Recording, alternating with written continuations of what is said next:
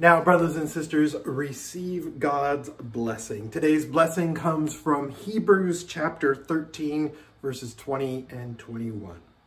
Now, may the God of peace, who through the blood of the eternal covenant brought back from the dead our Lord Jesus Christ, that great shepherd of the sheep, equip you with everything good for doing his will and may he work in us what is pleasing to him through Jesus Christ, to whom be glory forever and ever.